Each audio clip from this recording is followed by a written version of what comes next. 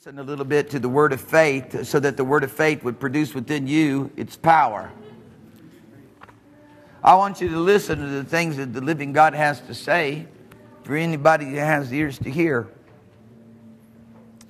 You know, the Lord showed forth his glory and came down, began to dwell in the midst of men in a way that he had not since the day that Adam sinned and turned his back upon the living God.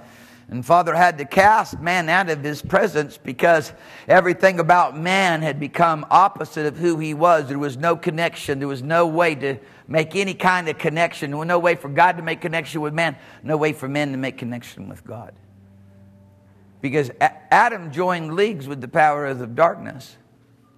And Father, praise God, had some men who laid hold upon him and took hold of the things of the Spirit by faith, even one of Adam's own sons, Abel. Then there Enoch, sixth, seventh from Adam, had a walk with God, such a beautiful walk with God that, I mean, my goodness, the scripture says he was taken and, and up into heaven because he pleased the Father. I mean, that's, that is an amazing kind of a life to live in pleasing the Father.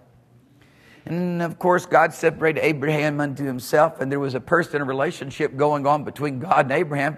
So he said he would be known by the, an everlasting name, uh, uh, just being called the God of Abraham. that, was, that is an amazing statement on it in itself.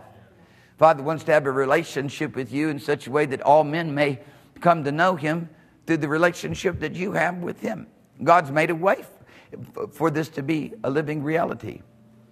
But you know, when the glory of God came down and dwelt in the midst of Israel, most of the people were, in, were not really interested. They were interested in being set free from slavery. They were interested in having a better quality of life. They were interested in earthly and sensual things, but really not very even, and really not interested too much in him. became obvious. They had their eyes more on what Moses was doing rather than on the glory of God. They didn't know anything about God. They saw his, they saw his deeds and his acts, but they didn't know his ways. If they would have known who Father was, my goodness gracious, they would have been concerned down there wondering if Moses was dead now. Perhaps he stood in the presence of God and God killed him. And all they had was a, a concepts of the gods that men's imagination had created. Gods that demons had, had uh, uh, basically inspired and created. God came down in the glory of Israel and the beauty and his splendor. The fire of his presence filled the sanctuary that he designed and told Adam, I mean, forgive me, told Moses to put up in the wilderness. There's only one guy really interested. His name was Joshua. Out of all those people, only one person. Isn't that, isn't that sad? What are you interested in? Isn't that sad? One guy. Of course, Moses was interested. But, in, and of course, uh, you know, of course, Aaron was interested. Aaron was anointed to minister before the presence of the Lord. But there was a person interested in the glory of God that just stepped out, as it were, out of the company of the people. His name was Joshua. Scripture says he did not depart from the door of the tent. Hallelujah. I mean, he was captivated by the presence of the Lord. Father, his purpose to show forth his power and his glory in the midst of his people. He started showing that very early on. And never has it been so true as it is today, now that God has raised up for himself a glorious church, which is to be the fullness of Christ Jesus made manifest. But I can look at what God's purpose was in, in, revealing His glory and His splendor to the nations of the earth because He wants people to know who He is. He's, he's, a, God of, he's a God of loving kindness and God of tender mercies. when, when, when, when Moses earnestly inquired of God so that God would reveal Himself and show uh, who He was, He said, I'm the one who's compassionate. I'm the one who's merciful. I'm the one who's showing loving kindness and forgiveness. I mean, that's His name, you know. Amazing God. That's what he wants to show to the nations of the earth. And he was going to show these things through more than just an announcement of, of somebody going and saying, well, you know, they saw God and telling the story about what happened when they encountered him. He actually wanted his manifest presence and his power to be revealed in the midst of his covenant people, which we saw take place when Israel was walking right with God. And you know, when Jesus shows up in the day that suddenly the messenger came to the temple, he shows up you can see where he was at, where Christ Jesus' heart was at when he saw the people of Israel taking Father's house, a place that was supposed to contain his manifest glory. Now, now you know, I lose, use that word loosely when I say contain. A place where his manifest glory was supposed to be revealed to the nations of the earth. And Jesus is seeing their tradition going on and their religion going on. Look at how, look at how he acted. Look at how he acted. Just look at how he acted.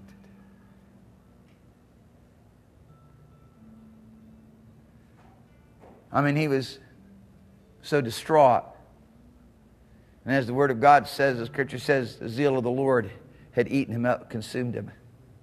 His, his, his zeal for the Father, he knew about the glory. He knew how wonderful it was, the majesty, the splendor of it, how it would be the healing to the nations, it would be the re- remedy to every person who lived under a sin curse, who lived under the power of oppression and torment and disease and sickness.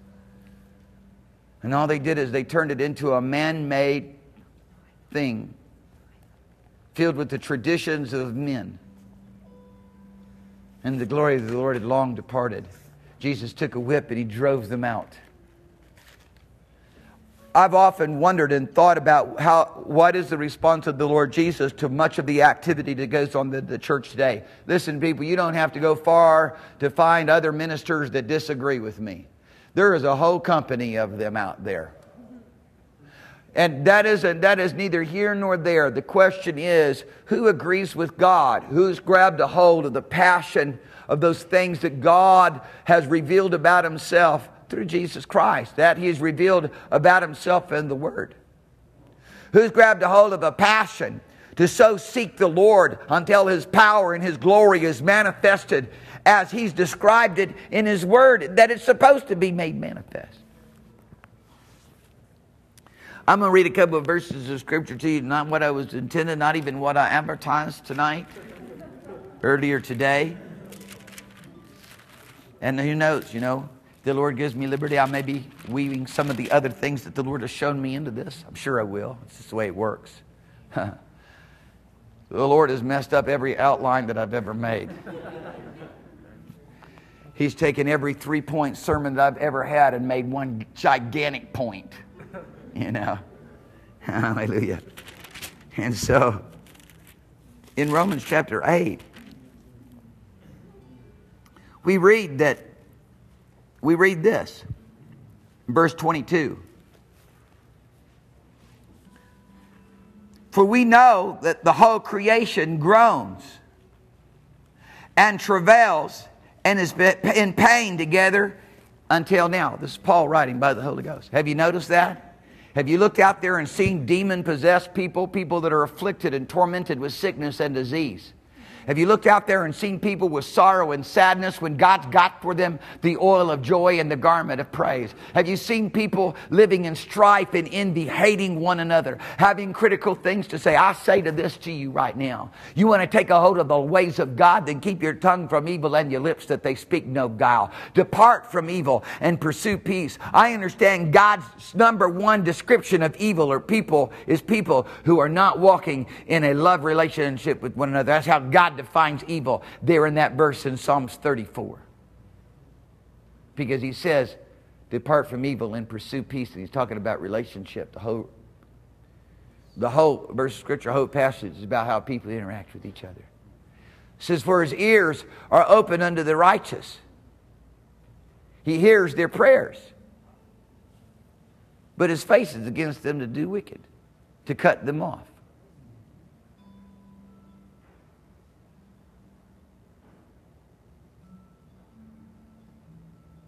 You and I, we the remedy to this situation that we're seeing here. you and I, we're supposed to be the light that shines in a dark world. We're supposed to be the one who has the ability to cast out the devil when a devil manifests. We're supposed to be the one that brings peace to the mind that is tormented with mental disease and mental illness.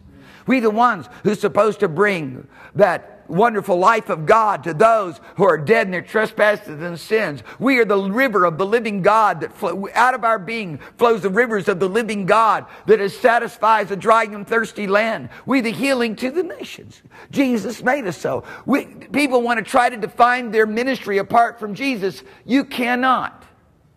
And listen, the things that I'm going to say tonight, you're going to have to understand. This is what God has done for us in His love. He's made us one with Him. I hear people all the time trying to somehow reduce this wonderful, great salvation to something that man can do out of human effort. Christ Jesus has brought us into His ministry, and it's His ministry that we're supposed to live in and abide in. A ministry that it cannot be uh, confined to an earthly realm. It's a ministry that, that uh, of the Son, Christ Jesus, speaking out of heaven functioning out of heaven, interacting with everything that belongs to the realm of heaven. So he said to Nathaniel, You used to see this angels ascending and descending on the Son of Man. That's why you see that interaction with him and the Father is such that he always saw the Father before him and on his right hand, that he should not be moved. God has brought us into the same ministry, not into a different ministry.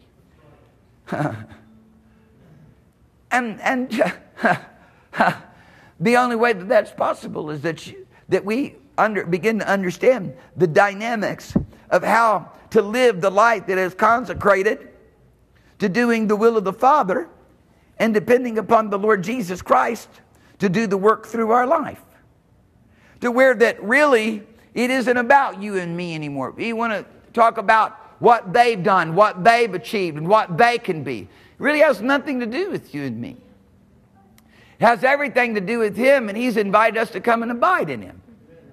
That is amazing. That is amazing.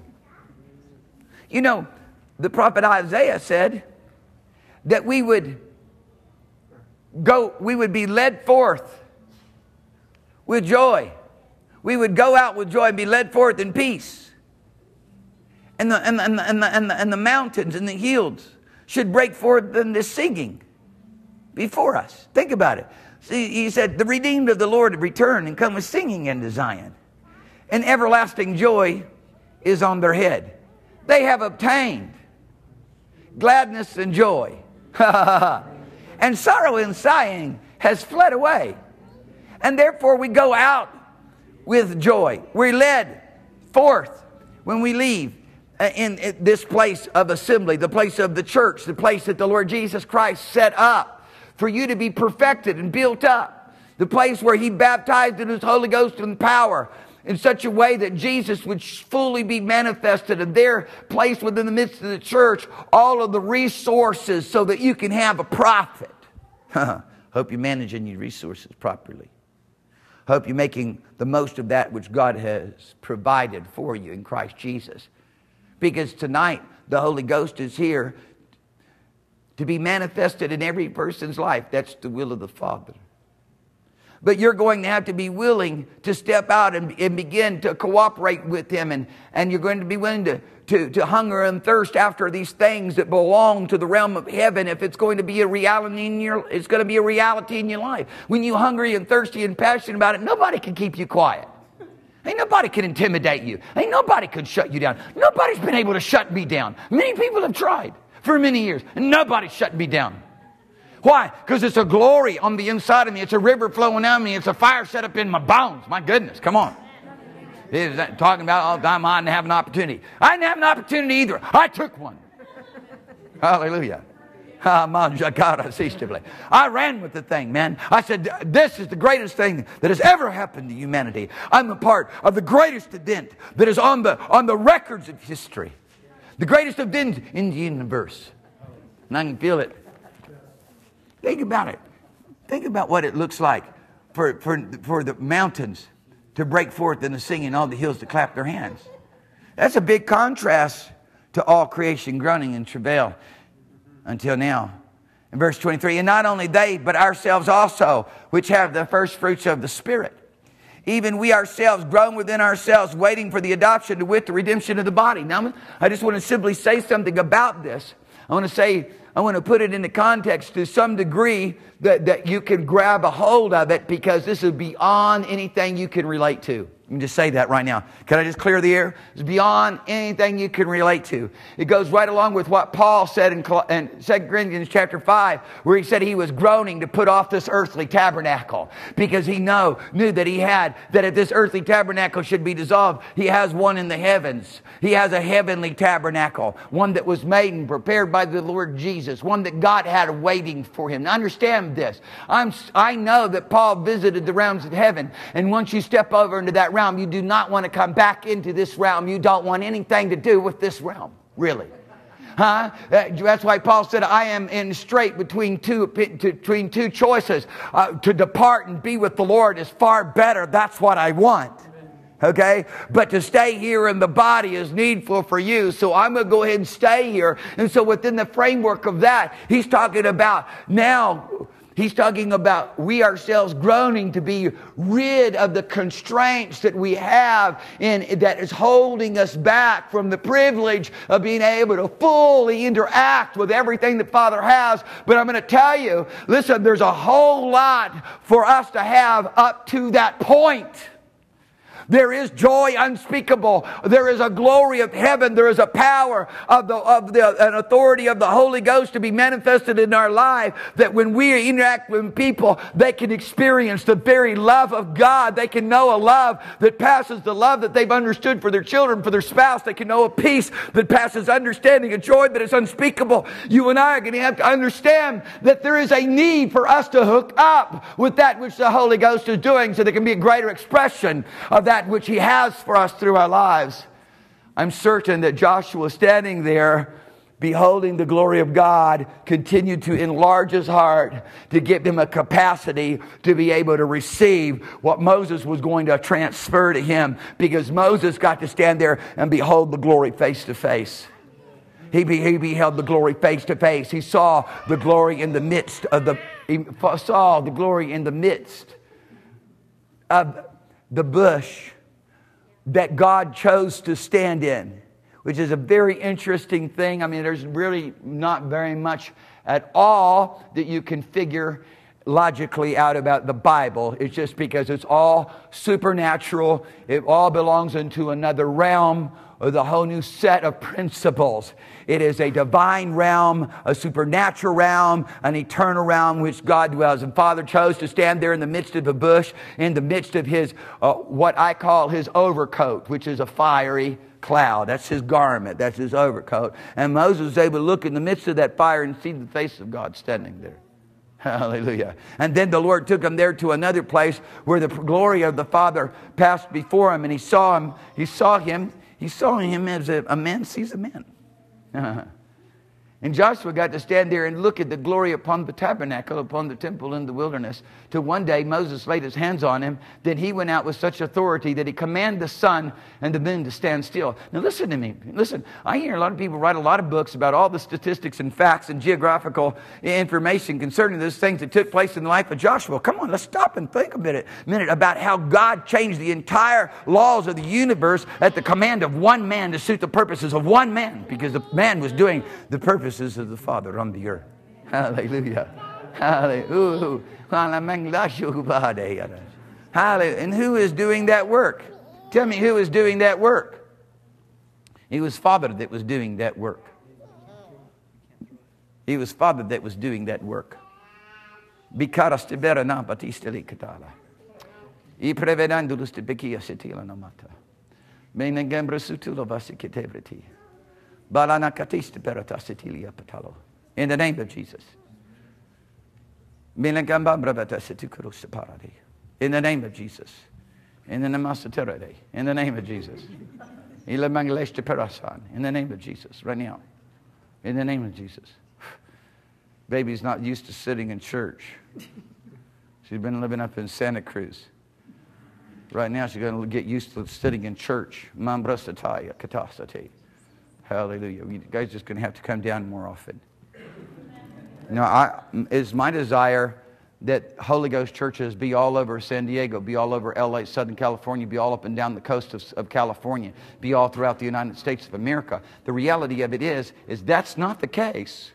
It's not the case. There's a bunch of religious churches. And I'm telling you, dear people, you, uh, there's so many, I mean, my goodness gracious, there's so many people rather be in a religious church anyways. I don't want to be around the Holy Ghost. I don't want to be down around the power of God because there's just a few people, it seems, that even want the things of heaven that are going to press in. Because the reality of it is, is these things are supplied to anybody who wants them. They're available to anyone who wants them. And very few people have them. Therefore, very few people want them. Huh? Just one little bit. Just give me a little bit. Just one little bit. No, we don't want you to have a little bit. God wants you to have all the fullness of His power and of His presence in your life. Hallelujah. Praise the name of Jesus. Now, I want to just turn you to a verse of scripture here in First John. I'm going to have to go slow tonight because I'm going to lay some heavy on you. I have to go slow tonight because I'm going to lay some heavy things on you. I'm expecting you to believe that what I'm expecting you to begin to believe what God is doing, the works that Father is doing, so that you'll do them with Him. And those of you who are who know the Lord, you don't need anybody lay hands on you, huh? Because you have all of the resources of heaven that you need to walk in divine health. But if you're going to walk in divine health, you're going to have to keep your tongue from evil and your lips to speak no guile. Because all you can do is bring upon yourself sickness and disease. It's true. It's true. I don't want to get too much into that because people get all freaked out. They get all weird, even weirder. Huh? I want to talk to you about the blessings of God and the promises of God. I'm going to tell you right now there's a heaven for you to gain and there's a hell for you to shun, both in this life and in the consequences of the decision you make now and also in the future. I'm going to tell you right now that the wages of sin is death. I'm going to tell you that the gift of God is eternal life. I'm going to tell you that if you sow to the flesh, you shall of the flesh reap corruption, and that stinks, and that hurts, and that's painful, and that's, and that's misery, and that's everything you don't want. But if you sow to the things of the Spirit, you shall of the Spirit reap everything that belongs to a, a, an eternal realm, a realm of the very life of God we call the eternal life. Hallelujah. Because it's God kind of life. It's the life that Jesus showed us. It's the life that Jesus has. It's the life that Father has. It's the life that the Holy Ghost has. It's the life that's come, God's come to communicate to us. And when you grab a hold of it, it's power and authority over everything that Satan is doing against you fundamentally and everything that God wants to do through you. Oh, I mean, goodness, Satan has purposed that it, it, even if you are doing and moving and functioning in the things of God, you have hooked up with the divine grace. He wants to come along and invalidate you so he can profane the name of Jesus. Now, or he wants to stop you from ever getting there because, once again, he wants to invalidate those things which God said in his word. And somebody's going to have to have a zeal for God, realizes what this temple is all about, what this new creation is all about, what this purchased possession is all about that has been redeemed by the blood of Jesus Christ and filled with the glory of heaven, called the Holy Ghost. Amen. Amen. Hallelujah. Hallelujah. And then to start glorifying God in your body and your spirit, which are His. Hallelujah. Praise the name of the living God. Not getting another prayer line to be saved.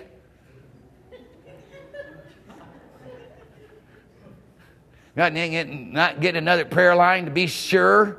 My goodness, if you need to be sure, I mean, goodness, at some point in time, you need to be sure. And if it takes you till you're 90 years old, still getting in the prayer lines to be sure, then God bless your heart. Go ahead and do it.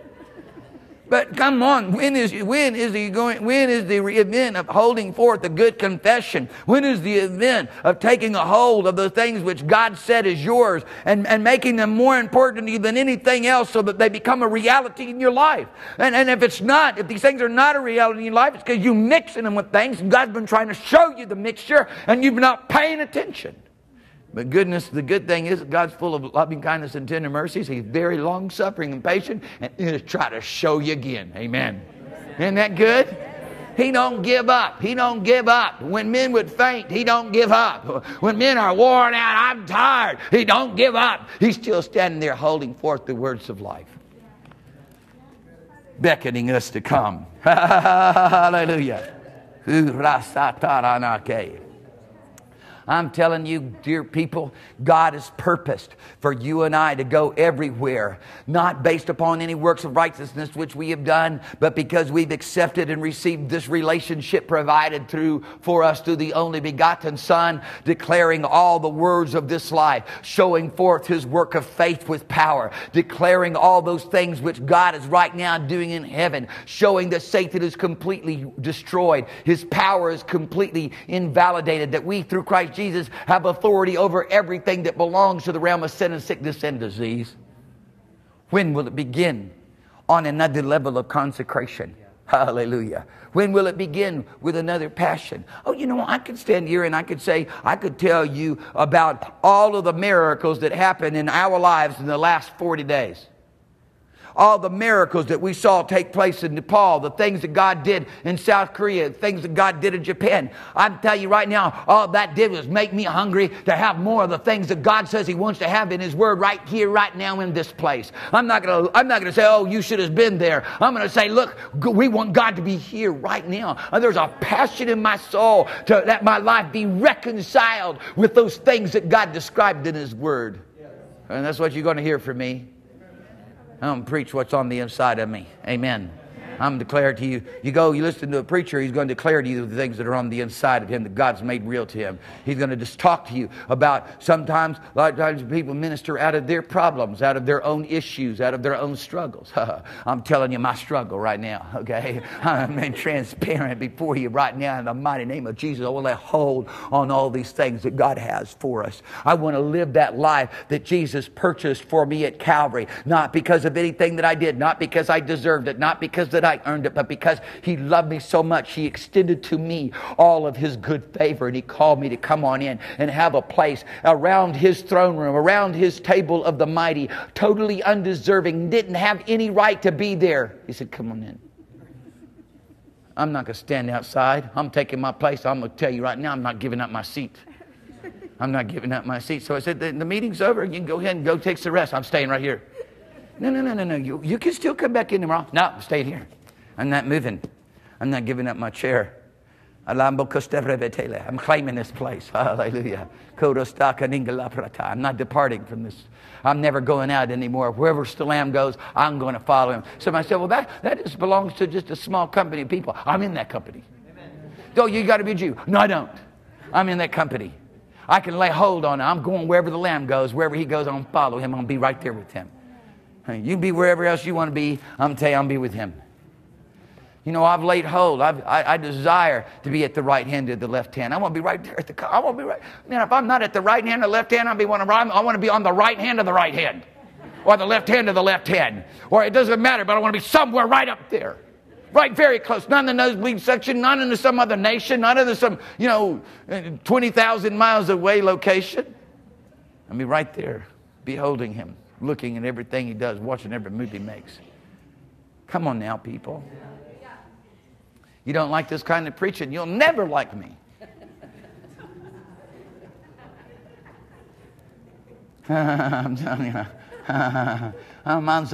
to get so I want I'm, I'm so hungry and I want to be more hungry than I've ever been. I'm so thirsty. I want to be more thirsty than I've ever been. I want the outpouring of God. So, oh, power and the manifestation of every wonderful, glorious thing that He's doing. I want that more than anything else. And that's all I'm going to talk about. And that's all I'm going to live for. And everything that I could possibly detect that could potentially mess with that or hinder that or run interference, I'm going to make war against it, man. I'm going to win. Amen. Amen. Hallelujah. Praise God. Praise God. Hallelujah. Sickness and disease defiles that glory that He's purposed for us to have. Somebody said, Oh, don't say that. Somebody's going to be hurt because they're sick. Your feelings need to be hurt. Now rise up in that place, quit feeling sorry for yourself, and declare the word of God be healed in Jesus' name. Because Jesus paid for your, for your healing in full. That is amazing to me how many people do not believe that the healing of sickness and disease is in the redemption covenant. When he bore our sins in his own body and by his stripes we are healed. And you find that you find forgiveness of sin and you find healing of disease. In every verse of scripture talks about forgiveness of sin redemption salvation. My god what's wrong with you man? What bible are you reading? What what happened? What devastation? What what terrible event took place in your life that caused you to deny the faith and change the word of god? You're listening to me now. I know you are There's you, you'd be amazed people tune me in just to pray that somehow God would shut me down. I tell you right now, let me just tell you, let me help you out right now. I've discovered those prayers always backfire on the person that's praying them. Haman's noose only works around his neck. He had it designed specially made for Mordecai, but Mordecai never saw that day. Amen. And I pray you repent right now and get right in Jesus' name. Hallelujah. one night, one night, I tell you, it's the way the Lord does it for me. You know, usually I'm very calm. I've never run in church up until this one night. And this one night, when people were, they, they, they, they, were, they were tuning in to get some verification of how awful I was. You know, to get some verification if I was even possibly tolerable. And that night, the power of God came on me. I started running around the place, man. I was jumping and shouting. I mean, goodness gracious. they got all the information they needed. They got they were fully loaded with all of the data and all the facts. All they had to do was hit record play. Or record and then play it later or whatever, you know. Because now look at the man, he's totally crazy, completely out of his mind. Yeah, I, was, I enjoyed being out of my mind that night. I enjoyed being raptured in rejoicing and fellowship with God more than I could contain. Hallelujah.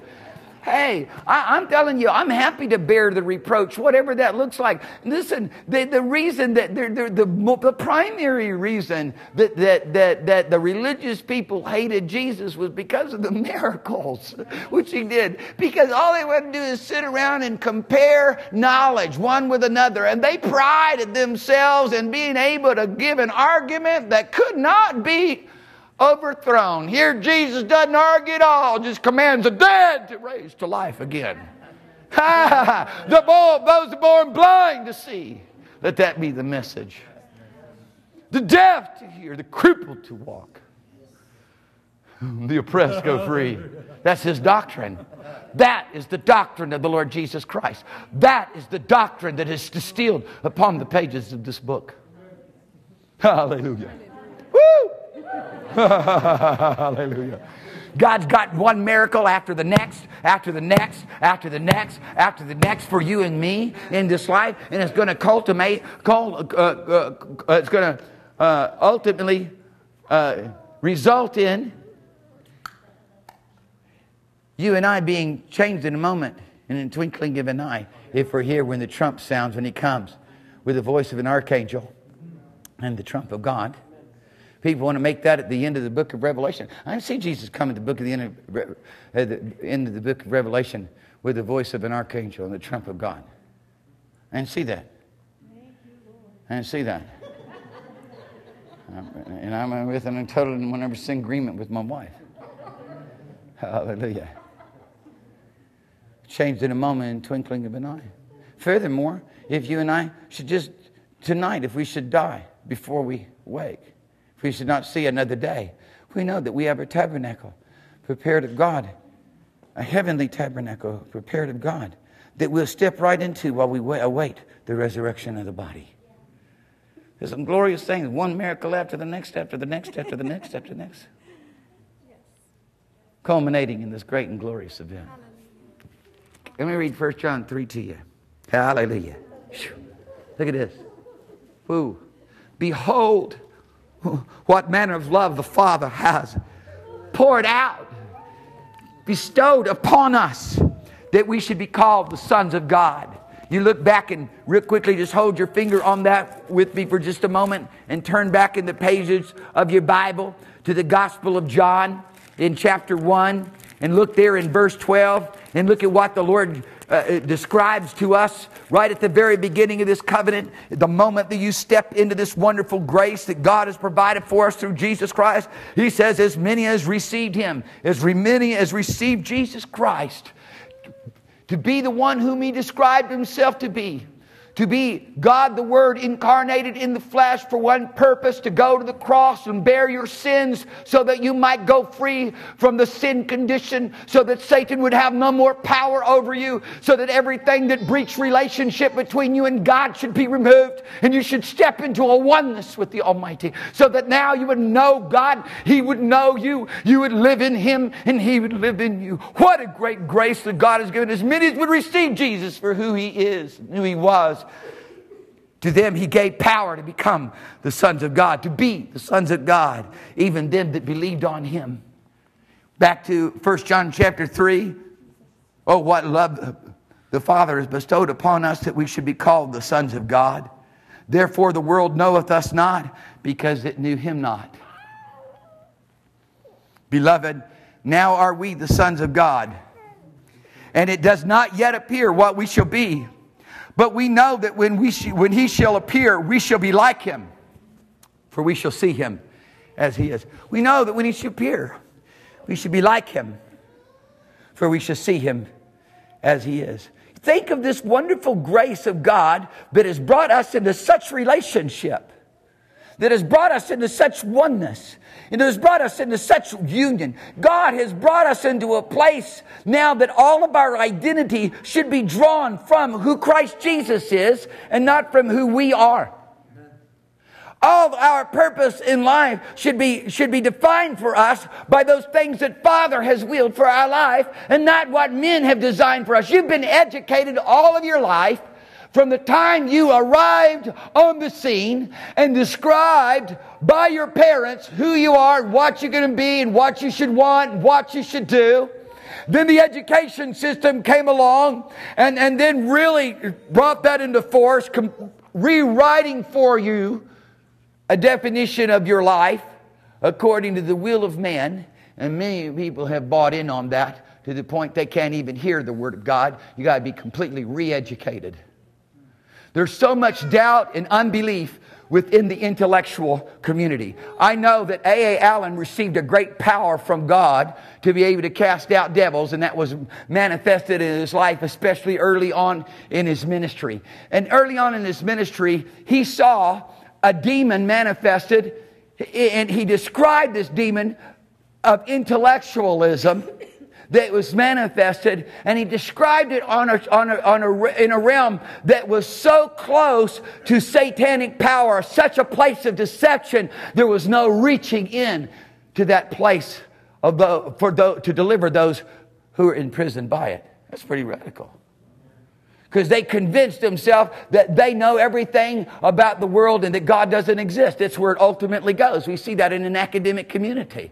And then ultimately it tears down our understanding of the realms in which uh, God moves and ministers out of because now we've got an explanation for every disease. We've got an explanation for every sickness. We've got an explanation for every trouble, for every problem. And, and, the, and we so, suddenly somehow figure that we've got an answer supplied for us within the framework of that which man can do. What deception? They run interference. Now I'm telling you tonight, I'm going after this thing. I'm just gonna, I'm gonna go after it. I, I mean, I just feel that the Spirit of the Lord just, when he, when he sent me, when I came back to the United States of America, coming back from Japan, I just felt such a authority called fire down upon the church to see all these things that, that are, that are man-made, all these things that belong to doubt and unbelief, all these things that belong to humanism and intellectualism burned up so they no longer have power to work its craft, literally, and I'm using the word right, craft in the midst of his church. I want you to turn with me to uh, John chapter 5 now. Hallelujah. Well, before you do that, let me just show you, because I just I want to just trace the sonship for just a minute, okay? Can I trace the sonship for just a minute? Go to Galatians chapter 4 real quickly. Just want to trace the sonship for you. And, I, I, want you to understand, nobody's going to earn this. You just receive it. sometimes more people, sometimes people do more with these things in the first week of salvation than they do after 10 years. Huh? Come on now. You got to be simple with these things and believe it and receive it for what God has done for us. Out of His own grace and out of His own power and out of His own mercy, He's provided these wonderful things for us. And somehow we get ourselves in the equation and then it, it begins to you know, bad experiences or whatever it is. I don't know what it's. I have never had any bad experiences that turned me away from faith. Huh? I know what the problem is, man. I mean, you're supposed to be, people are supposed to be kept by the same power of God as I've been kept by. I don't know what the problem is. It's good. The experiences in God work, work hope, huh? Work confidence, better said. And confidence doesn't, we're not going to be made ashamed.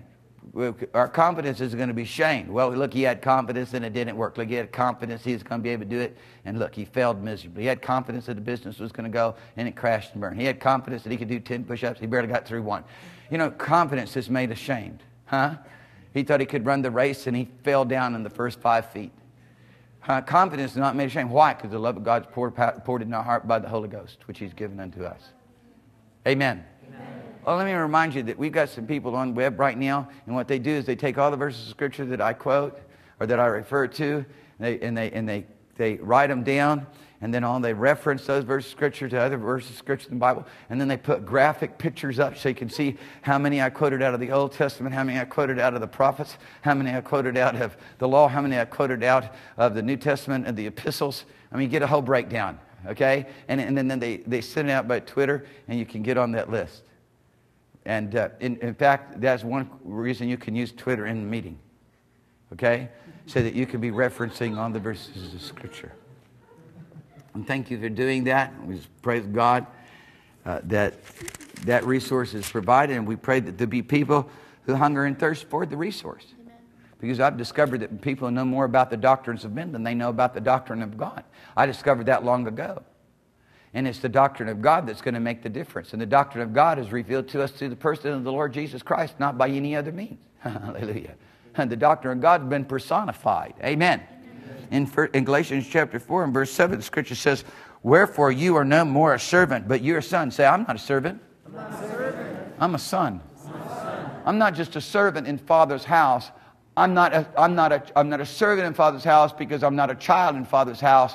I'm a matured son. And it's talking about matured sons right here and we are instantaneously given the place and position as matured sons as soon as we step into the kingdom of God. Your growth rate is totally dependent upon your willingness to obey God. Your willingness to, to, to, be, to grow into, into the maturity of the ministry of Jesus depends on your willingness to follow the Lord Jesus Christ. This morning I talked about the man that they called the apostle of, the, uh, of Nepal. They wrote a book about him, subtitled A Man Great as the Himalayas because what God did through his life. He was 27 years old in an elite uh, military unit in the British Army that comes from Nepal. 27 years old, he was a major. And he turned in his resignation once he found Jesus. He found Jesus because he, Jesus found him, rather. he, he, he, he was introduced to Jesus because a couple of people were willing to go out in, into a marketplace and set up for a little meeting. They didn't have to have a thousand. They didn't have to have 10,000 to go. They went out there and they were just having a little meeting with their Bible open and, and, and, and, and preaching a five minute sermon and doing a little bit of music as people was passing by. He happened to be one of those people that were passing by. And he turned the nation of Nepal upside down.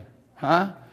He, he, he heard that there was a person who could give him forgiveness of sin he, he turns in his resignation because the Lord said, I want you to go and become a mission uh, and, and, go and tell your people in the nation of Nepal uh, who I am.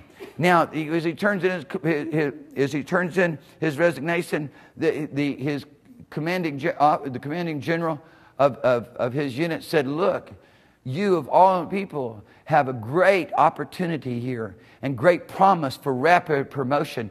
Don't do this. He said, No, I've been called to go and follow Jesus. Think about this. He leaves a lush, I mean, just amazing, lucrative job and lush position where he has everything that he could ever want in the material world. Now to go and live in Nepal and go and stay in people's barns because Hindus would not allow anybody like him in their house because they would offend their gods in their house. So he has to live, he has to stay out in the barns. He goes, he gets arrested. He goes from one prison sentence to the next prison sentence to the next prison sentence. They put him in with dead people. So because they want to try to teach him a lesson because everybody everybody he puts everybody that they put him in prison with, everybody gets saved. because of the power and the authority of God. So they put him for six months with dead people. And they figured that he would be dead after two weeks. This is the life that he chose to live. I'm telling you, you step out there, you abandon everything, you follow Jesus, you're going to get the Bible results. Your life will instantaneously be, be reconciled with the Word of God. Hallelujah. There's more nations to conquer, people. He didn't get the last one. Kashmir, still unreached people group. Ha ha. You got to die, go there. You got to go to prison, man. You got to go to prison. He, he would, here's how he do the altar. He would do the altar calls. He would let people know that if you, if you give your life to Jesus, you have to spend a year in prison. It's the law. And then he'd, build them up in the faith, and they'd come anyways. And then he'd remind them, now, you're going to get baptized today. When you get baptized, they're surely, you're surely going to get arrested. And they would still come and get baptized. And then they'd be held, hauled off to prison to go spend a year in prison. oh, my God. You know, when all of a sudden these things become a living reality to us, and this becomes more important than anything else, a great change will take place in your life. Great, great change. Great change. I pray for great change tonight. Amen. Fully matured sons. Fully matured sons.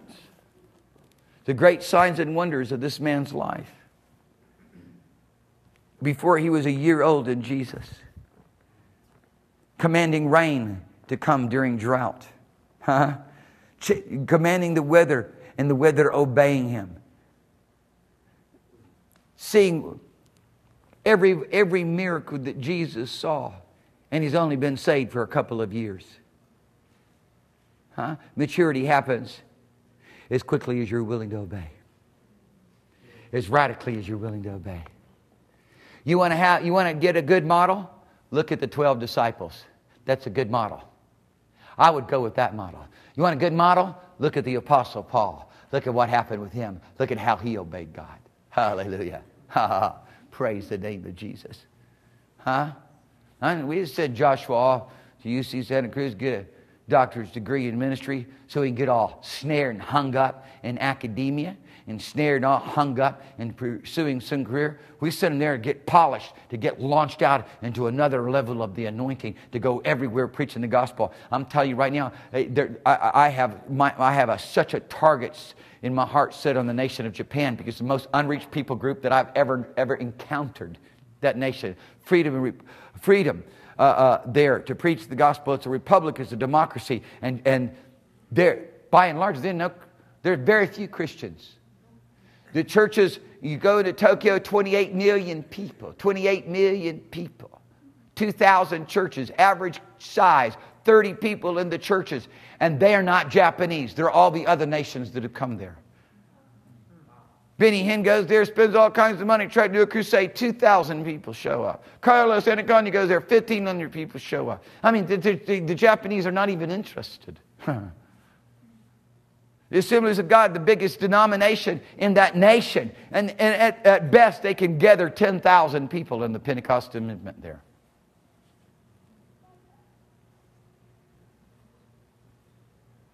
And I could begin to describe similar things about San Diego.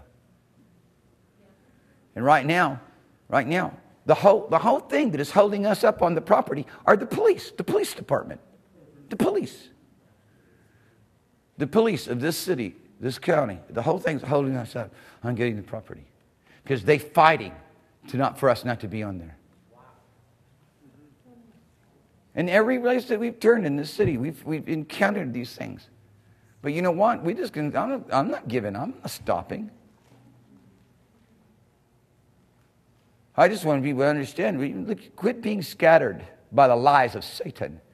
Quit being immobilized by the things that the powers of darkness are doing. Look, I'm telling you, we're going to take, we're going to rush on the city. We're going to climb up to the walls.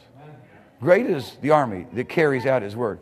Father is going to show forth his glory and power. It's just who's going to stand here and beseech him and lift up their voice and cry out to him uh, so that he comes and does those things which only he can do. He comes and speaks with his voice to break off the strongholds that only he can break off. My heart's so filled with the needs that are going on in Japan, the needs that are going on in Korea, the needs that are going on in Nepal, the needs that are going on in China. My heart's filled with the needs that are going on in the Middle East, the places, the nations that the Lord sent us to. But my heart's so filled also with the needs of the city. And I know there's only one remedy. I know there's only one remedy. And the only one remedy is a glorious church. In fact, if it is, is the Lord gave me a plan to be able to go in to, to Japan and fill up the stadium because they love baseball. I mean, the baseball is the biggest thing. I grab a, and, and the second thing that they love more than that is golf. And, and, we know Christian people that are in baseball and Christian people that are in go- golf, like Bubba Watson, and we just take them out there, man, we'll fill the place up. But then the biggest quandary is where we what, what church are we going to put them in? What church are we going to put them in? Where's where? What church are we going to put them in then? And then I'm, I'm, in, I'm in a quandary here too. Huh? Come on now. Let's just go. Let's begin to do this thing the way that God wants us to do it. And what He'll do then is He'll enlarge the place of our dwelling and He'll give us the insight on how to do it not only here but everywhere else. But as long as you hold on to your life, you're not going to get the life that God has for you. You get to choose your life or His life because you can't have them both. Now, what needs to do, what needs to happen, is you need to have clearly defined for you the expressions of your life versus the expression of His life. And that's what I'm here to do tonight. That's what I'm here to talk to you about. And I'm going to lay hands on every person in this place.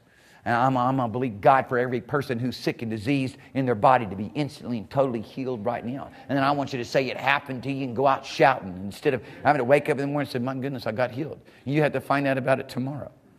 Or worse than that, power of God comes on you and touches you, and then you go and you and the next day you already healed, but you go and the next day Satan sets you up and he's got somebody standing there already set to tell you to defy and redefine for you that you didn't get healed and it's okay because God still loves you. And and he's given this to you so it's because he loves you. And, and, and you, you, you're going through this trial because he, whatever. I don't even understand. That's crazy logic. Over and again, over and again.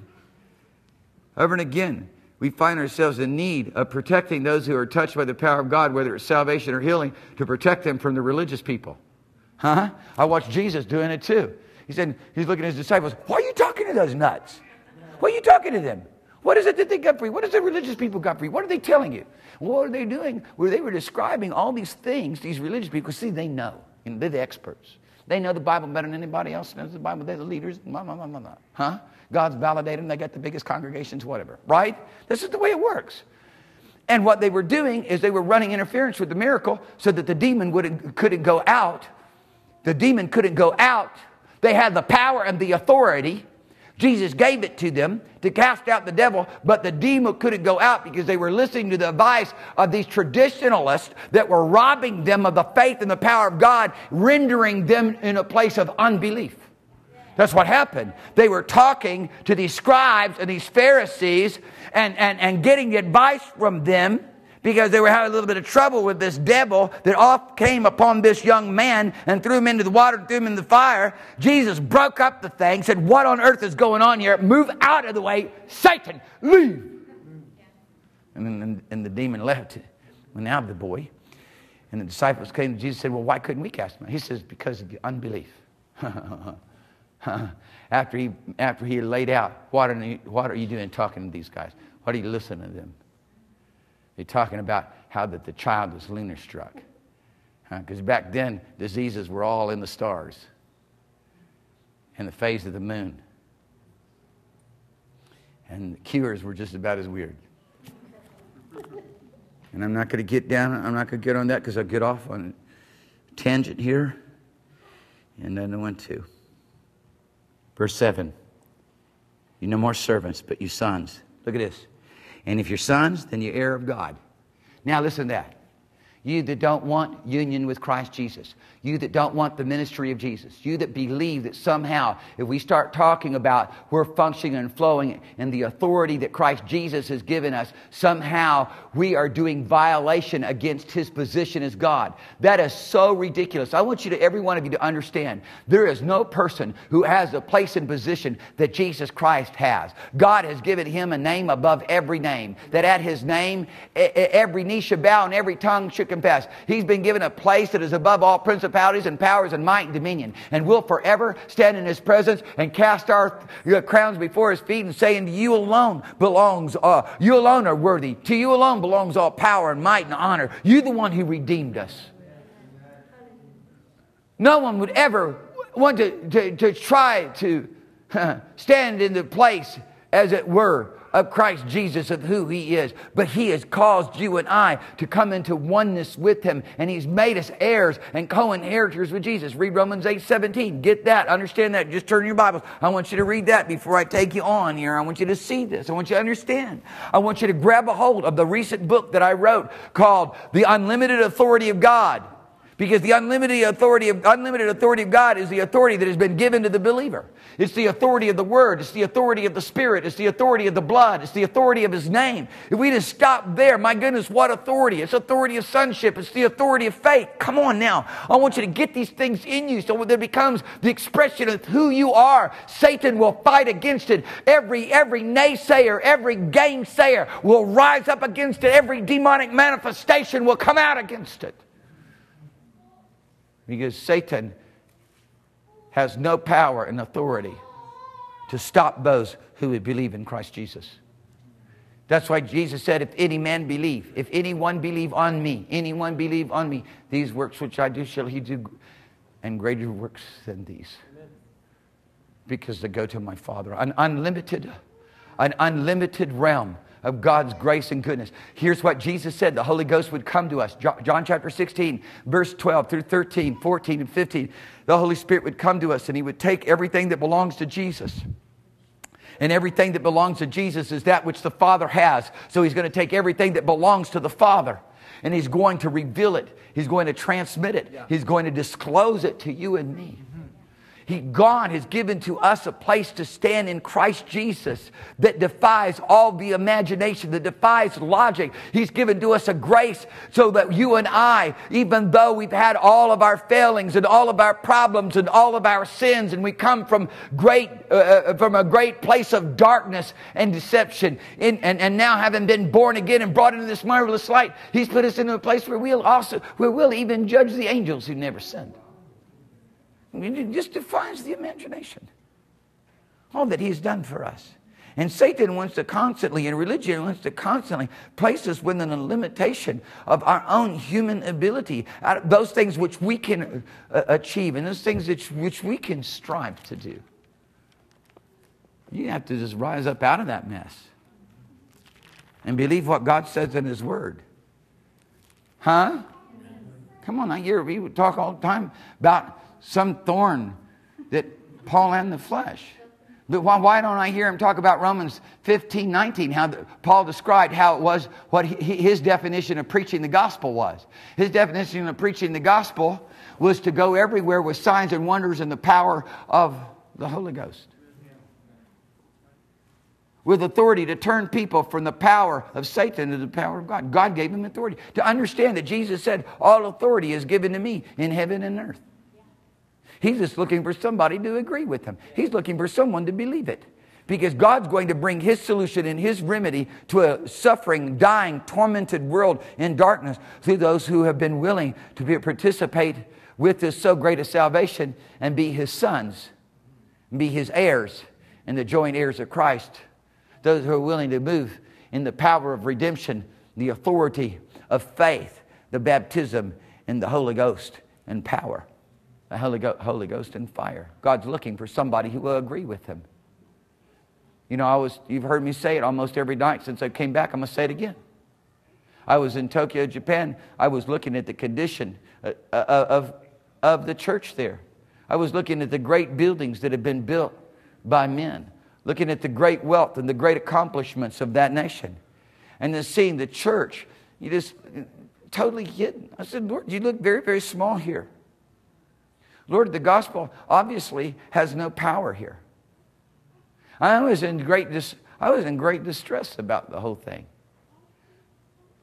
Where is the authority of the gospel in this place? Has no one with the power of God come and liberated this nation? And the Lord came and visited me about five o'clock in the morning. And he said, All authority is given to me in heaven and earth. I'm just looking for somebody to agree with me. He made it personal. Mark, all authority is given to me in heaven and earth. I'm looking for someone to agree with me. Matthew chapter 28, verse 18. And the very next thing it says, Go. Go preach. Go declare this word. Go declare this gospel of the kingdom. Oh, where is that going to start? It's because it's going to start tomorrow, where you are at in the in the framework of where you are at. You don't. What do you do for lunch?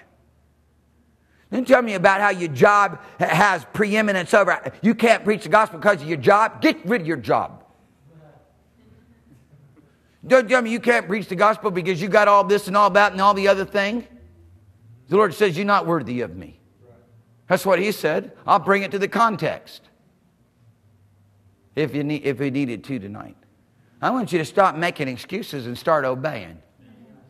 I want you start going and preaching the gospel. I'm telling you right now, when you begin to make souls your number one purpose in life, it begins to straighten the things out in your life that you've not been able to recognize. It begins to fix the problems. It does. It begins to fix the problems. I'll show you people who are set free and full of joy. They're the ones going in the highways and the byways, reaching people. They're the ones taking their lunch break, and as soon as they get off work, they can go find some time, reach the lost. They're going to go every place looking for somebody who needs salvation. They got an authority. They got fire in their lips and in their tongue.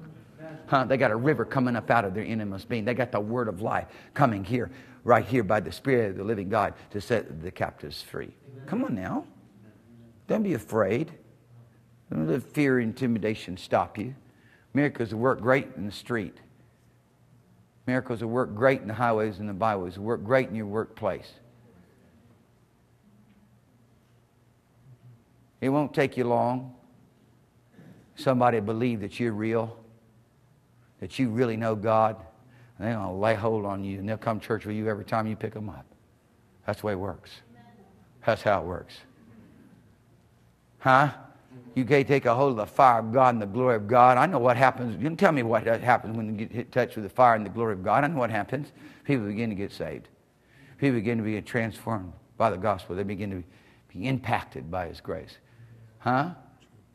And then they're going to watch every move you make just like a child watches its parents and learns from its parents. And there better not be a bunch of, you know, disconnect and unreconcilable issues, otherwise their faith will be overthrown. Can you hear what I'm saying to you tonight? I pray in Jesus' name that you'll be able to hear. Let me just stop off at Romans chapter 8, verse 17, just so that you get this just before I go on. Is there anybody here in the place tonight you sick and tormented? Anybody sick and tormented? Huh? You sick and tormented? I know about the torment. You better watch out. Things that you sow into right now, you're going to reap later. You watch out. You watch out. People think that they can sow. They think they can sow the flesh and not reap corruption. God said, You're not mocking me. You're not going to mock me. You're not going to tell me my spiritual laws don't work. You ain't tell me my spiritual laws don't have consequences. You better watch what you're sowing. I've stood in this place and I've talked to parents over the years and I've said, by the Spirit of the Lord, my veins popping out the side of my neck, you're going to lose your kids. You quit acting the way you're acting, you're going to lose your kids. And they just thought I was mad at him. I wasn't mad. I was prophesying to him by the Spirit of the Lord. They wouldn't listen. Had no ears to hear the Spirit of the living God speak. Huh? I've said to people, look, you at the crossroads. You about to be removed out of this place by the living God. You about to be moved out unless you get right with God, unless you repent of the deeds of your heart, you're going to be moved out. And they got moved out. And, they did, and what has happened, the deception, they believe it's their own decision. No, God picked them up and moved them out. We speak to you by the Spirit of the Lord because we here in the midst of a place where the wind of the Holy Ghost is blowing right now on the threshing floor of the Lord Jesus Christ. And the wind drives the chaff away. God's giving every man a space of time to repent People just think, well, it's, it's just, well, this is where I go to church and I'm going to be faithful. It has nothing to do with that. It has to do with a place that God's assembling people together to go everywhere preaching the gospel of the kingdom so that the, so that the, the that the masses don't die and end up in, a, in eternity without God. So that somebody will somebody be raised up so that others might have an encounter with the living God. I don't care how big churches are. My issue is are they have they been born of the Spirit or have they been born into religion? Have they been indoctrinated into the kingdom of God or indoctrinated into the traditions of men? It's a big issue. It's a big, it's a big issue to me. And the only thing that's going to show the difference and make a distinction between the two is the fire of God the fire of his presence and his glory. I know the fire of God will fall upon this church. I know the Father has purpose for his fire to fall upon this church in a radical way. But the offering's got to be perfect. And the offering needs to be in, the way for the offering to be perfect is for every man to have their life hid in Christ Jesus, because he's the only perfect offering. But the Lord has empowered us to be able to, to offer our lives a living sacrifice, holy and acceptable unto God, which is our reasonable service. God has made a way so that you and I could step into this offering that Jesus Christ gave for us. And, and, there find ourselves crucified with Christ, buried with him by baptism into his death, raised up together with him, alive together with him, seated in the heavenly places with him, that the fire of God and the presence of God and the fullness of all of his glory might rest upon us and fill us in every dimension of, of, of those things that he himself possesses. That's what God says. He said, if, we, if we, He's purposed that you and I come to know the height, the breadth, the length, the depth, to know the love of Christ which passes knowledge, and there in that place be filled with all His fullness. Now unto Him who is able to do super abundantly above all that you can think or ask, according to the power that is at work on the inside of you. Huh? For you to believe that Christ Jesus has not come into your life, for you to believe that somehow it's, it, it's, he's, he, you, are, you are other than him, and, and, and, and, and, and somehow he's displaced from your life. My goodness gracious. And that you're trying to serve him the best of your ability is to believe another gospel. The gospel that we are taught of God, the gospel of the Lord Jesus Christ, is that Jesus came into our life. He's living on the inside of us right now. He's come to dwell on the inside of us. We live in him and he lives in us. Our whole life and our whole identity is supposed to be in Him. It's something that He's given to us as a free gift. We're not trying to overthrow the position of God. That's nuts. That's a lie right out of hell. That's people trying to invalidate the things and overthrow the things that Jesus said. And nobody's, no man's calling himself God or equal to God. We got something better than that. We, we, we're in that place of being those that are redeemed by the blood of Jesus Christ made one with him because he's given to us the gift of salvation. Come on. He's come to dwell on the inside of us, and we've come to dwell on the inside of uh, in Him. And, the, and our whole purpose of living is to do the same thing that He did, to do His works. That's our whole. That's our whole purpose. That's everything that the, that the Holy Ghost is leading us and guiding us to do. I want you to look with me in Romans chapter eight. Romans chapter eight, verse seventeen, real quickly. Scripture says, "And if children, then heirs of God." And join heirs with Christ. If you are sons, in other words, if you sons, ready, we're sons, right? As many as received him uh, for who he is, he gave them the authority to be sons of God. As many as would believe upon his name. Beloved, now are you the sons of God. Hallelujah. Oh, what manner of love the Father has bestowed upon us that we should be called the sons of God. Beloved, now are ye the sons of God. At this very moment, heirs with Christ joint heirs of God, joint heirs with Jesus Christ. Having received everything that belongs to Him because the Holy Ghost has taken all that He has and brought it to us in an unlimited realm. You're going to tell me that rivers of the expression of the Holy Ghost flowing out of your life is limited? What? God's description is rivers of living water this spake he of the Holy Ghost flowing out of our life. That is the unlimited expression of the goodness and the graces of God that he's given to us as a free gift and calls for all men to come and drink of this salvation. The reality of it is, as I've watched so many times, people have left the truth. God has brought them into a place to prepare them to be able to participate in the great outpourings of the Holy Ghost and the great movings that the Father has planned for this life. And they've allowed Satan to deceive them and sort them out. And they was driven away by the wind of the Holy Ghost, like chaff is driven from the threshing floor. And now they become the biggest enemies of the gospel. They become the biggest enemies of these things that we preach. I can name people, even people that were once in this church, who become enemies of the gospel. They, they want a life that, that they can live religiously. They don't want the power of God demonstrated with the authority that Christ Jesus has purposed for us to walk in. It's a sad thing. My heart's broken over it. And I certainly don't want it to be you. But if you sit around and don't do anything with these, anything with these things that God has said, you could, you could also run the risk of ultimately being deceived because you become discouraged, you become disappointed, and you go, My, why aren't these things working in my life? Things aren't working in your life because you're not doing anything. You're not going anywhere. You're not taking any risk. You're not obeying God. You're still hanging on to your past problems. You're still hanging on to your sickness and to your human affairs. You're going to have to start grabbing a hold of a good confession, start declaring how you healed, how everything about your life is filled with the goodness and the glory of God. I dealt with, the, I dealt with a, a disease in my body. I didn't tell anybody. And um, the only person I knew was my wife.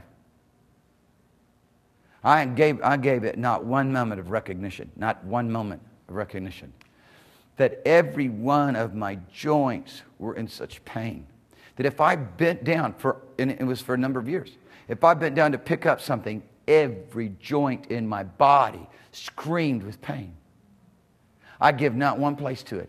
I did not recognize it. I, I refused to accept any part of it. I thought I thank God every day for the fact that I lived in divine health. I do not have I do not have one little trace of those ache and, aches and pains today. That disease that has tried to take a hold of so many people, that joint disease, that pain, tried to lay its hands on me. I found that all I need to do is start worshiping God and praying in the Holy Ghost, and I got right, I'll just push right through the pain. It didn't have any dominion over me. People, we all, we all face challenges. You know, you can say that many are the afflictions of the righteous, but you must also say that the Lord delivers us out of all of them, and He don't need the doctor, and He doesn't need the medicine cabinet, huh? It just, are you going to stand there? Are you going to push through to that place that God has for us when you've got a whole army standing in front of you saying you can't do this? You've got a whole army uh, uh, of, of the powers of, of darkness trying to defy the will of the Father and the purposes for, what you, for which you were redeemed. What are you going to do? Are you going to capitulate? You're going to just lay down? You're going to give up? Or are you going to fight a good fight of faith? I'm going to fight a good fight of faith. I'm going to say what God's, I'm going to be valiant. I'm going to say what God said is true. And I'm going to stand here and I'm going to declare the word of God, even though the circumstances and situations say it's different. I'm going to say, no, it is not different. This is the way it is. Huh? Come on now. Amen. Amen. And I tell you, there's probably nothing more important than you and I taking a hold of our identity in Christ, our oneness with Him, our heirship with God, for us to be able to move forward in the things of God. There's probably nothing, nothing singularly more important than that.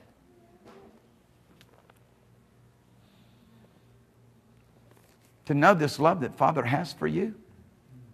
Father loves me so much, Jesus said, He's going to show me all things that he himself is doing. I'm getting to that. I'm getting to that. Romans 8 17. That, when I said that, I was, cloud of glory just came over my whole being. Why? Because I believe that. I believe that. It is His Word, and I believe it. It is not something that is distant from me, aloof from me, something that belonged to somebody else. It's a love letter directly to me. It's my inheritance. I inherited these things not because of anything that I've done, not any works of righteousness I've done. I've inherited these things because it's Christ Jesus' inheritance, and I find my whole life in Him. He's my whole salvation. He's my whole holiness. He's my whole righteousness. He's my whole acceptance to God. I have nothing outside of Him. I don't even exist outside of Him, and neither do you. You dead outside of him. He that hath the Son hath life. He that hath not the Son hath not life. That means you're dead. Huh? Is that true? That's 1 John 5 12. For those of you don't know it. Hallelujah. I got Jesus. I have Jesus. He's mine. Huh? Because that's what the scripture says. He that hath the Jesus is a personal possession. I have him. He's mine. He belongs to me. He's mine and I'm His. And He made it so It wasn't anything that I did, it's His gift, His grace, His goodness, His love. And tradition and religion and the powers of darkness are going to try to strip that away from you. At some level. If they can take it all, they'll go take it all. If they can just take a little part of it, if somehow they can make some kind of distinction between you and God. That's what religion does. It wants to make God a transcendent other. That's a theological term. It's a wild theological term. Literally, transcendent other means that he is completely different from you. He's away from you in another location. And by the help and the grace of God, someday you may be able to touch him. And he has given you access, but it's just a little bit. Do you believe that gospel? I don't believe that gospel. Do you believe that gospel? I don't believe that gospel. But unfortunately, it, it lies behind, and the good word, it lies behind many of the, the denominations' traditions and belief systems.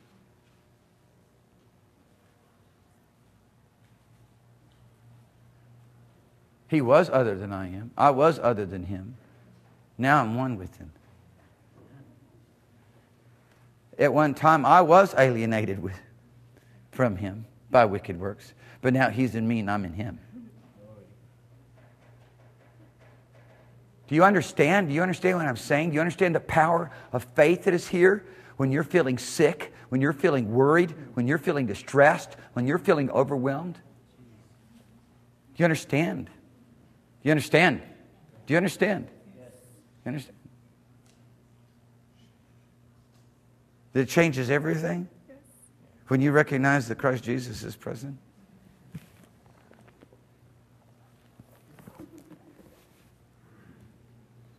Did I read Romans 8 17? Let me read it again. If you children, then you're heirs of God, join heirs with Christ, if so be that we suffer with him, we shall also be glorified together with him. Now, I want you to look with me in John chapter 5.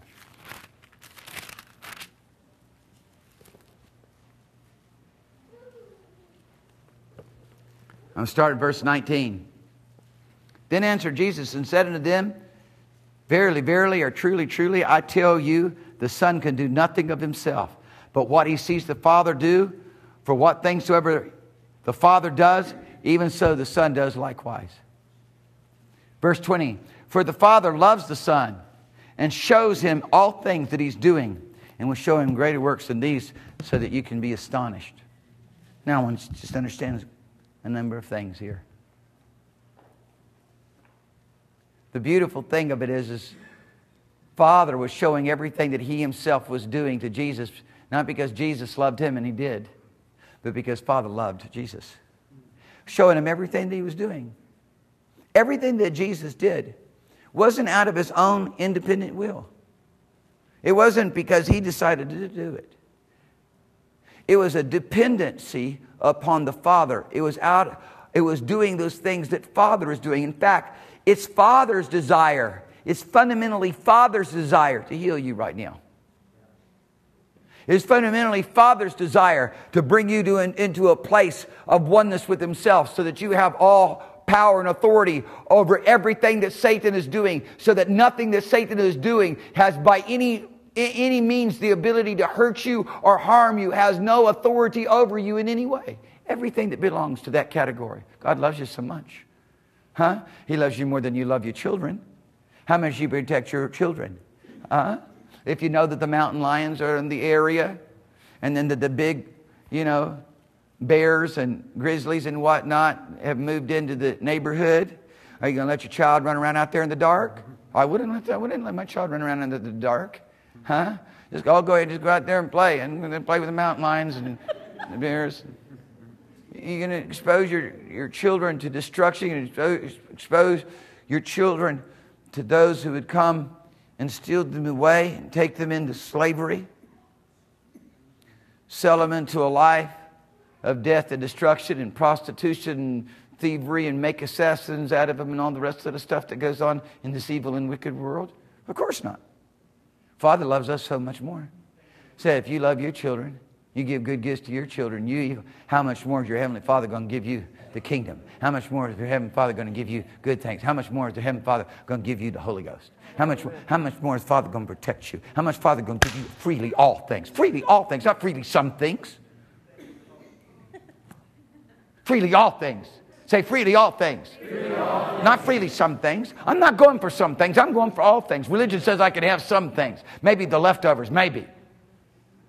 Maybe the crumbs that fall from the master's table. I'm up at the table. I'm up at the table. I'm not eating crumbs. Amen. Hallelujah. Even though a, single crumb will do. Even though a single crumb is all that you need to get the remedy and salvation to your house. Even though a single crumb. If your daughter was possessed with the devil like the Syrophoenician's woman, woman's daughter was, you'd be upon your face crying out to God. But how about your daughters being subjected to all the things that go on in the education system? Are you on your face crying out for them? Are you having revival in your house? Are you having a Holy Ghost meeting that's focused on them? Are you, are you touching heaven on a daily basis in your house so that each, each person in your house is filled with the strength and the ability to overcome all the wiles of the devil? I trow not. It's not happening. I can see it's not happening. He needs change. He needs change. Are you having Holy Ghost meetings every day in your house? Yes. Good. And you got Miss Busybody? yes. Right down, sit right down in the middle of it? Amen. Because, um, huh? Dancing. That's what you have to do. Hallelujah. God's giving you an opportunity, parents. Listen, I'm not really allowed by the Holy Ghost to go where I wanted to go tonight. In John 19, in John 5, 19, 20. But I'm going to go where he wants me to go.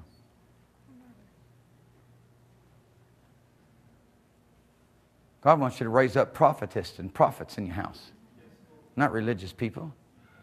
God doesn't want, God's not impressed that you're going to raise up a bunch of folks that are brilliant. I want you to raise up people on fire, hungry and thirsty for the things of heaven. Lay hands on the sick and cast out devils. Whose sole purpose is to reach the lost.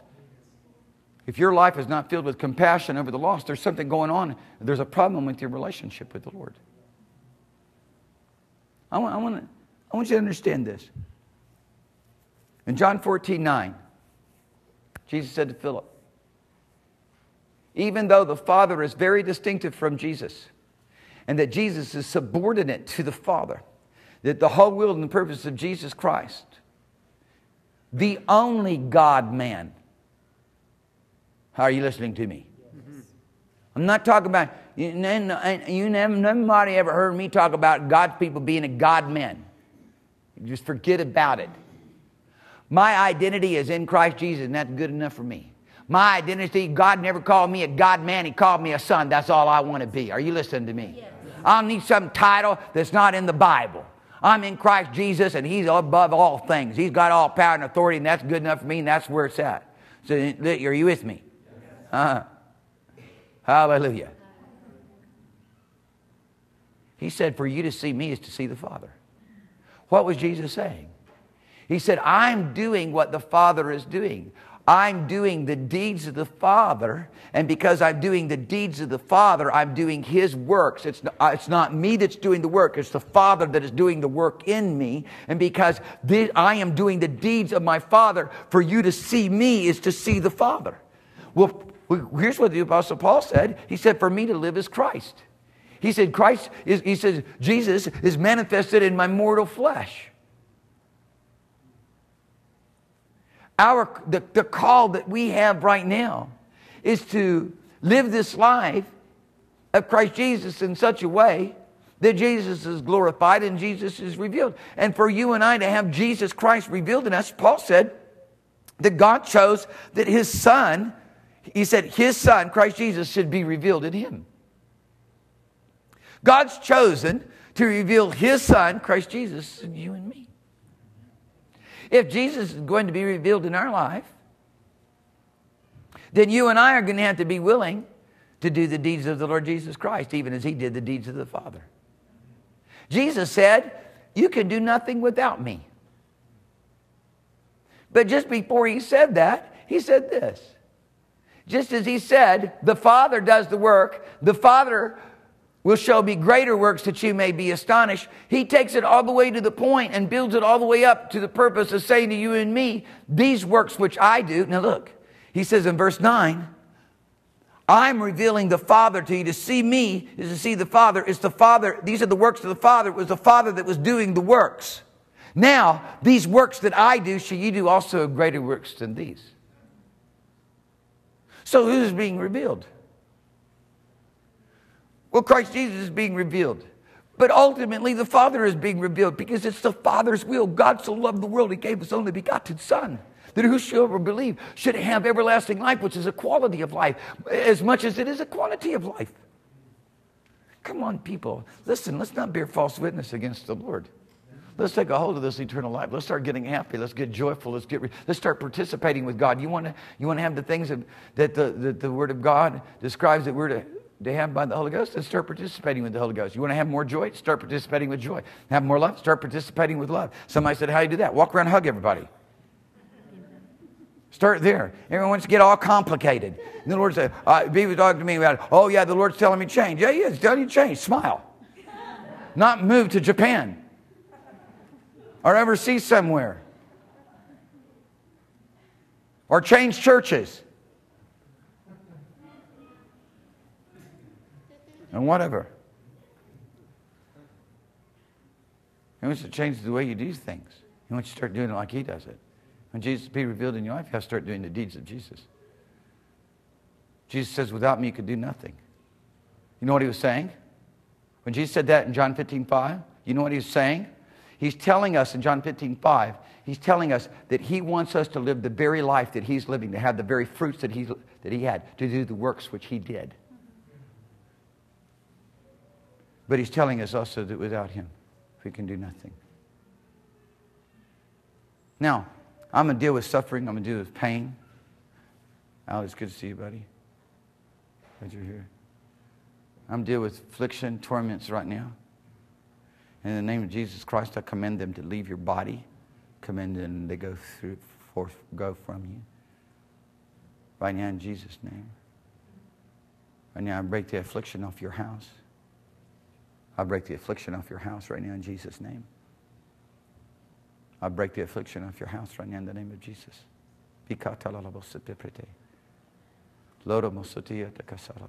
Father, I ask you to shine the floodlight of heaven down upon this situation with Scott and Marlene. So that they can clearly see the problem, clearly see the issue, so that they can deal with it after the Spirit. So that this stronghold, this deception that's come in, tried to plug their house, be broken. Right now in Jesus' name. Thank you, Father. In the name of Jesus. Father, I pray right now there be people begin be so burdened for her need to soak the fast and pray for her. Not just John. Wonder why. Right now, in the name of Jesus. This show could be broken. I'm going to say this. There's a couple of things I, I want a couple of people to testify about. I'm going to say this about Geneva. And, um, and other people that I know people of the Spirit. Things started going on in her house. It wasn't right. You know what she did? She fasted and prayed till the yoke was broken. Huh? There was yoke on, on, on, on little David's house. She didn't see him in church for a long time. Now look where he's at. Why? Because mom went to fasting and praying. With a, when you got authority with God, you'll break that yoke. You'll break it. What are you going to do? Stand around and counsel it, or are you going to break it? You're going to reach to heaven, take a hold of the authority of God, you'll break off the yoke. You'll break it. You'll break off the yoke. You try to do it with the arm of flesh, all you're going to do is mess things up. You're going to try to constrain people, you mess things up. You hit your knees, you start crying out to God, you start fasting and praying, you'll break off the yoke because it's nothing but a demon power. That's all it is. Demon power goes, and your daughter set free. Now, in the name of the Lord Jesus Christ, take this thing now. Take this thing turn it around. I wanted, I was so wanted Heather to be able to share tonight, and uh, get this microphone here. I, want, I wanted Heather to be able to share tonight with you um, something that just recently happened in her life, and I'm so excited about it. Uh, I think it was not last Sunday, maybe it was the last Sunday. Sunday morning, different people started being healed. Um, when I just had everybody raise their hand and receive, it said receive, receive, receive. People, different people started being healed when I was saying that. And um, actually, her sister in law, who had an arm that had uh, probably a rotator cuff torn, who wasn't able to use her arm, her arm totally got healed. Katrina, she came up, you know, you saw the glory of God on her. The Lord touched her, totally healed her. Well, Heather had basically not been able to use her arm properly for a year. And similar kind of thing, just worse, probably a rotator cuff problem. And she, she couldn't even lift her hand when I said, lift your hands. And she just grabbed a hold of it. She said, now listen, I'm not going to come under this thing anymore. I'm going to take a hold of faith and I'm going to start declaring those things which God says it's, it's done for me already. I thank you, Lord, that my arm is already healed. She applied the word of God to her life. And as soon as she began to, arm came up a little bit, a little bit more, a little bit more and then it's totally healed. Huh? So did anybody lay any hands on her? She got a personal relationship with the Lord Jesus Christ. Hallelujah. Huh? We're supposed to go lay hands on everybody else. Not have to stand in line, get, you know, God's people standing around laying hands on one another. My goodness, go lay hands on the lost. Go lay hands on the lost. Go out there lay hands on the lost. Go out there and find people say, listen, are you going through some tough times right now? I just want to bless you. Can I bless you? Can I bless you? I have authority from heaven to bless you. Some people don't like that. Just say, go, go out there and start blessing folks. Got to get them to repent first. No, go bless them first. Hallelujah. Huh? That's what Jesus did. He didn't, look, he was getting people healed. There was signs, wonders, and miracles taking place before he made any commitment. As a result, some people's hearts were changed. You know, he healed 10, 10 cleansed 10 lepers, right? Of course, they believed on him to some degree, obviously, because they came to him for healing. But only one came back to worship him. He gave freely, expecting nothing in return. Isn't that good? Listen, tell everybody, tell everybody what happened for you. I was uh, extremely burdened and extremely struggling with something that kept coming back over and over and over. And one day the Lord gave me a word directly to me. I was a verse. And that verse, as soon as I heard it, completely set me free. But then the struggles came back, and I continued to wrestle with it over and over. And the night before this past Thanksgiving, I sought the Lord desperately, and I cried and prayed and cried tears and prayed, and God, please help me, God, please help me. And I did that over and over. I did everything I could think to possibly do. And um, got up in the morning, did the same thing before I was supposed to go meet my family, just crying and you know praying, Lord, help me. And the Lord reminded me of the verse He gave me before. And um, and as soon as I, as soon as that verse came back to my spirit, and I remembered, I just by the Lord's grace, chose to put all my attention on that one verse, and instantly, everything that I've been praying and crying out for for hours and hours and hours, instantly the miracle happened when I just remembered that verse and accepted it. It's really the big, it's the big transition. It's hearing the word of God and then hoping that it's going to happen someday. And, and de- de- desperately begging God, oh God, can I please have this? Instead of understanding, He's already given it. It's yours. Would you please? It's already yours. It's like, you know, Christmas is coming up. You hand your, your child or the, your loved one a gift, and they're standing there looking at you. Oh, can I please have this? I just gave it to you. Oh, but please, can I have it? Can I have it, please?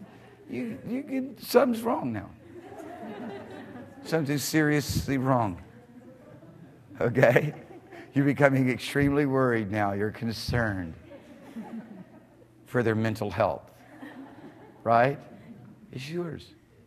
It's yours. You need to say it's yours right now. As much as salvation is yours, you need to say everything else is yours. And begin to thank God for it and praise Him for it. Thank Him that you're growing, increasing in faith every day. Hallelujah. Don't worry in well doing. God's promised that you shall reap if you do not faint. Amen. Hallelujah. Praise God. Praise the name of Jesus. Praise the name of Jesus. Thank you, Lord Jesus. Thank you, Lord Jesus. Hallelujah. Thank you, Lord. Thank you, living God. Hallelujah. Hallelujah. Adam came in here a couple of months ago and he was Dark Shadows, Series Yeah, 2. Yeah. Hallelujah. And now it's so beautiful, man. I don't see any I don't see anything that belongs to the realms of the power of darkness being able to affect him. Right. That's Totally true. delivered. That's true. Totally delivered. Hallelujah. Yeah. Totally set free. Yep. Hallelujah. Mm-hmm. Ah, praise God. Thank you, Jesus. And then he just he just took right off, being totally set free, and began to put his hand to the plow Yep. and started getting involved and and helping us take those things that the Lord has given us in ministry and getting them on YouTube Mm-hmm. and hitting the streets and preaching the gospel on street corners. Mm-hmm. And all that does just cause this grace to just go through the roof Yeah. all of a sudden. Yeah. I'm, Father, Father is right there in the midst. That's what, that's, what, that's what Father is doing. Yeah, it is. That's what Father is doing. And He showed us what He's doing. He showed us in His Word what He's doing. You want to do it with Him? Yes. You'll find that He's right there with you. Hallelujah. you go preaching His Word, you'll find Jesus right there with you, confirming His Word with miracles. Amen. Amen. Isn't that beautiful? Yeah. Isn't it wonderful to be right in the big middle of the things that Father is doing? Oh, should Father's heart be revealed to you? Mm. Jesus said, No man has ever seen the Father, Mm-hmm. but the Son. No man knoweth the Father but the Son. Mm-hmm. And whomsoever the Son shall reveal the Father to. My, my, my. Thank you, Lord Jesus. Thank you, Father God, for the anointing of the Holy Ghost. Hey, you know, you said, you said that the Lord gave you a revelation and probably take you more than a few minutes to share it. Yeah, I would. So I want you to, I want you to have some time to do that Okay. this coming Wednesday night. Praise God. But uh, Let's do it. let me say something real quick here. Glorify Jesus. Tell everybody what God's doing. well, God sent His Son, and He died, and then He rose again, and that's it. That's all we need. That's it. Just keep your attention right there. You're going to be good. So why is it that you going out and doing what you do in the streets?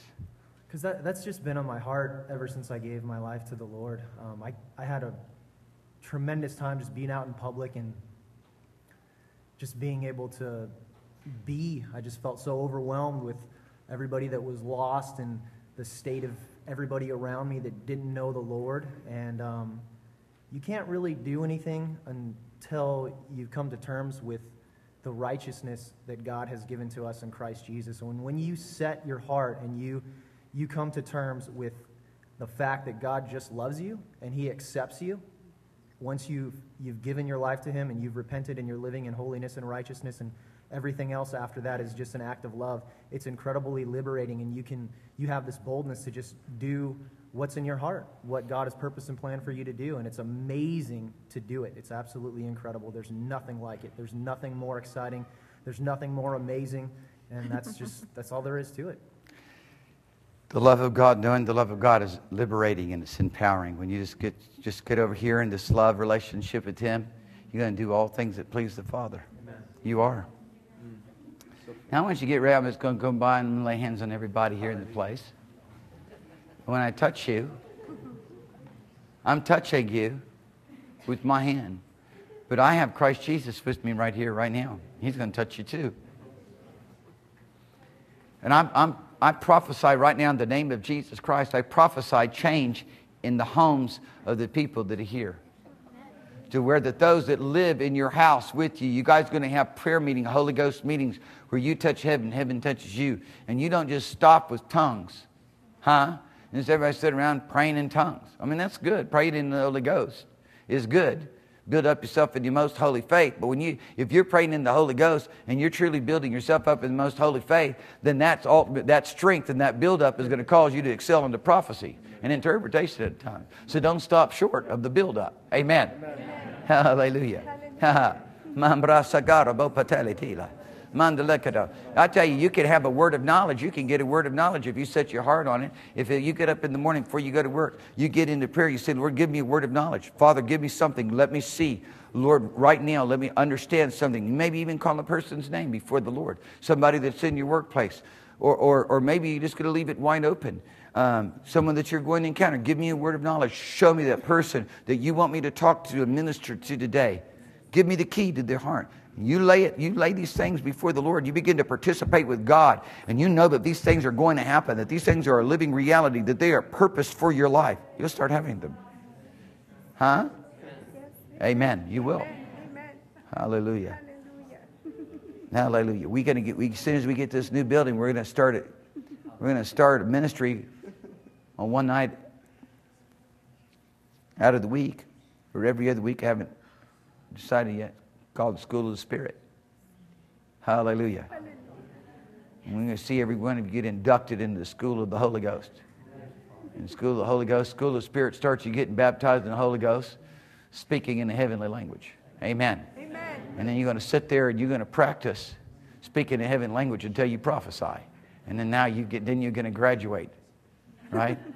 Amen. Amen. Hallelujah. That's right. That's right. We're going to have you sit there and pray in the Holy Ghost until you get an interpretation of tongues on one night. Amen. Amen. Hallelujah. And then until you, you're not, you're not going to get to advance over into the next section until you get an interpretation of tongues. Amen. Till you prophesy or something. Huh? And once that's going on in your life and it's fluent and you've got it and it's a flow, then we're going to take you over into the working of miracles. Amen. Hallelujah. Praise God. And then we're going to take you out on the street and we're going to find somebody in the worst condition we can possibly find and we're going to make you go over there and pray for them. Hallelujah. Till a miracle takes place. Hey, this I'll tell you the Lord spoke to me before I left, said there's a lot of people in here, they truly want to be able to do some more in the kingdom of God. They just, they're stuck. They didn't know what to do. Show them. And so I said, okay, Father, I'll show them. You show me what exactly how you want me to show them. And then the Spirit of the Lord laid on my heart, take them into the school of the Spirit. They, everybody's been brought into the school of the Spirit. The scripture says, in John chapter 14, verse 26, the Holy Ghost shall teach you all things. Hallelujah. He's in his school. He can teach us everything. Amen. Amen. Amen.